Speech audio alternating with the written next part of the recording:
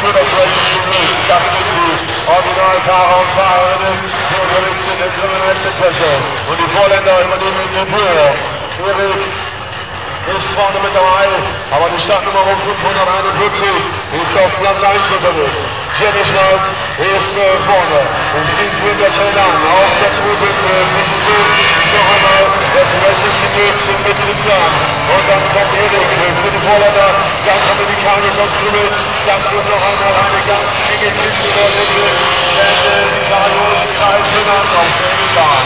Die Kanios greifen an auf der Bahn.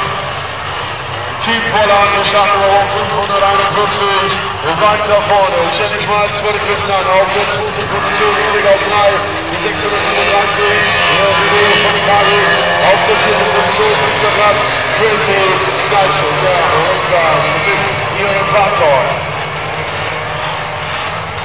In Wechselkessel Grill, Betriebe überträgt sich noch einmal dort hinten.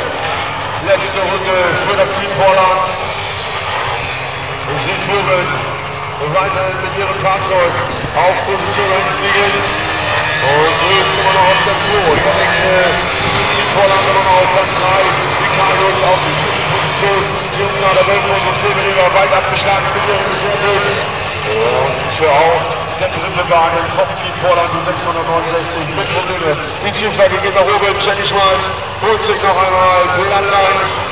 Lutz auf der 2, die Carlos werden noch einmal rausgekickt von Erik, aber der sitzt jetzt selber fest, so scheint es.